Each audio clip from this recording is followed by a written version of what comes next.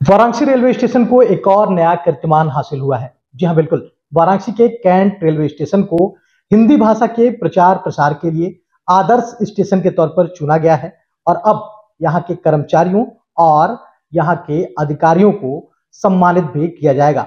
हमारे साथ डायरेक्टर हैं इस स्टेशन के। हम इनसे जानते हैं कि आखिर कितना मेहनत लगा और इन्हें कितनी प्रसन्नता है इस अवार्ड को लेकर।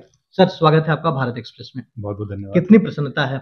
देखिए, हमारे लिए बहुत ही हर्ष का विषय है कि उत्तर रेलवे के वाराणसी जंक्शन स्टेशन को पूरे देश में हिंदी भाषा में उत्कृष्ट कार्य करने के लिए रेल मंत्री जी द्वारा, रेलवे बोर्ड द्वारा एक जो पुरस्कार मिलता है हिंदी राजभाषा में कार्य करने के लिए आदर्श स्टेशन की ट्रॉफी के लिए चुना गया है।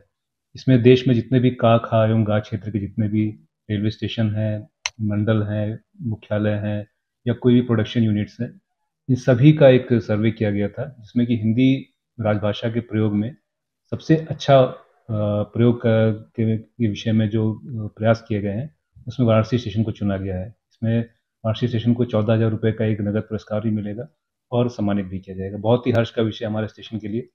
इसमें हमारे सारे अधिकारियों, सारे कर्मचारियों और सभी पैसेंजर्स का योगदान है।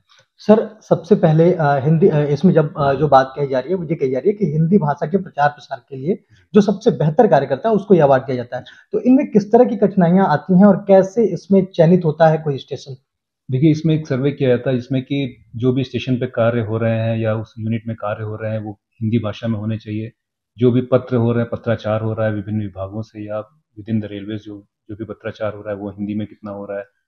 जो भी स्टेशन पर पैसेंजर्स के लिए जो सूचना बोर्ड लगे हुए हैं या इंक्वायरी में सूचना प्रदान की जा रही है या जो पैसेंजर अनाउंसमेंट सिस्टम है, वो सारे हिंदी में उपलब्ध है कि नहीं है। इन सभी चीज़ों का सर्वे किया जाता है। उसके आधार पर जो भी स्टेशन चयनित होता है, उसको ये अवार्ड दिया जाता है।